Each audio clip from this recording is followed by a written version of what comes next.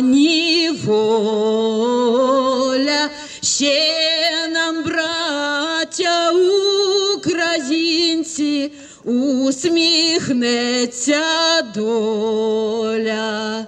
Згинуть наші воріженьки, як роса на сонці. У Наталії на Азовсталі залишився 26-річний брат, який вступив до лав полку Азов кілька років тому. Саме розмовляли останній раз 24 лютого. А смс, який е, отримувала від нього, ну, десь 2 чи 3 тижні тому я отримувала. І ми знаємо, що ну, е, останній раз, десь тиждень тому, я отримала смс від його побратима. От, декілька слів. І ми знаємо, що ну, завдяки зеленим коридорам такі росіяни зайшли на територію Азовсталі. Саме завдяки цим коридорам. Заходи в підтримку наших захисників проходили у Києві, е, у Львові, в Івано-Франківську, у Дніпрі ми проводили. І от зараз в Запоріжжі. Е, також, наші сім'ї проводять заходи в підтримку е, за кордоном. Мета цих заходів це достукатися до світових лідерів, до всіх організацій, які е, можуть вплинути на життя людей, саме на життя, тому що зараз те, що там відбувається, це просто виживання, це боротьба вже ну не на життя, а на смерть. І розумієте, ем, і ми хочемо достукатися, щоб не тільки звернули увагу, там поспівчували, так сказали, що так, ми знаємо, а вже щось вирішили. Хлопчики, мужчини наші, воїни, наших днів єдина правда і суть. Живемо ми душами роздвоєно, тілом в мирі, серцем на війні.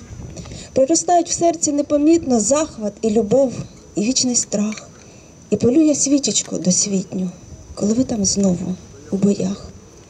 Хлопці, невідомі, найрідніші, наших гнів єдина правда і суть, де знайти те слово найвірніше, щоб могло живими вас вернуть.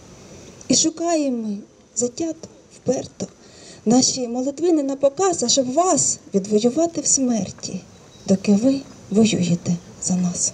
До акції долучилися і запоріжці, які не мають рідних та близьких у Маріуполі. Костянтин Мороз та Ольга Грек кажуть, неодноразово бували там, спілкувались із місцевими жителями, згадують про них тільки добре, тож роблять усе, що можуть, аби допомогти. Це в даному випадку єдине, що ми можемо сьогодні зробити на захист е, тих людей, які знаходяться на Азовсталі, і військових, і цивільних, які там знаходяться фактично в, в полоні, в оточенні.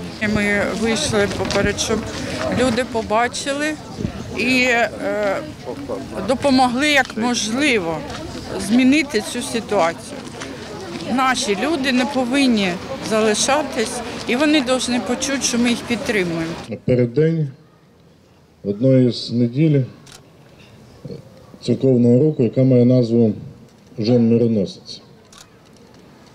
І ми з Євангелія знаємо про ті події, які відбувалися в останні дні життя Ісуса Христа під час Його страждань, розіп'яття, смерті і поховання.